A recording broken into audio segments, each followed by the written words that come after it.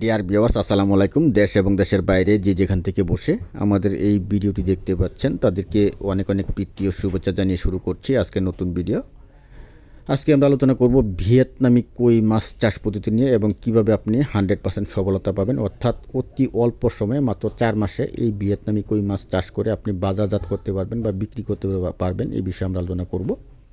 যাই হোক, আপনি যদি ভিয়েতনামি কই মাছ চাষ করতে চান, তাহলে অবশ্যই প্রথম যে কাজটি করতে হবে, আপনার পুকুর অবশ্যই ভালোভাবে পরিষ্কার করে এবং পুকুর শুকিয়ে ভালোভাবে পুকুর পরিষ্কার করে প্রতি শতাংশে এক কেজি চুন, একশো পঞ্চাশ গ্রাম টিএসপি সার, একশো পঞ্চাশ গ্রাম ইউরিয়া সার এবং প্রতি শতাংশে দুশো থেকে দুশো পঞ্চাশ গ্রাম সরিষার ঘোড়া গুঁড়া খৈল।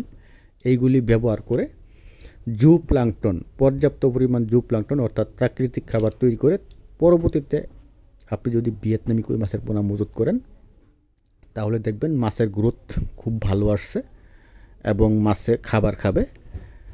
এবং আপনি যদি মাছটি এককভাবে চাষাবাদ করতে চান, তাহলে প্রতি শতাংশে আপনি দিতে হবে তিনশো থেকে চারশো পিস এক যদি আপনি এককভাবে চাষাবাদ করতে চান। এবং যদি আপনি মিশ্রভাবে চাষাবাদ করেন, তাহলে প্রতি শতাংশে দিতে পারবেন একশো থেকে একশো পঞ্চাশ পিস বা দুশো পিস এরকম এবং খাবার হিসেবে আপনারা বাজারে যে রেডি ফিট পাওয়া যায়, অনেকে আছে যে হ্যাঁ কই মাছের কী খাবার, কী খাওয়াতে হবে, এ নিয়ে একটু বিস্ময় প্রকাশ করে। তো ভিয়েতনামি কই মাছের খাবার বাজারে যে রেডি ফিট আছে, এগুলি মূলত খায় ভিয়েতনামি কই মাছ। এবং আপনারা সবাই জানেন যে, ভিয়েতনামি কই মাছ অত্যন্ত রাক্ষসী টাইপের একটি মাছ প্রচুর পরিমাণে খাবার খায়।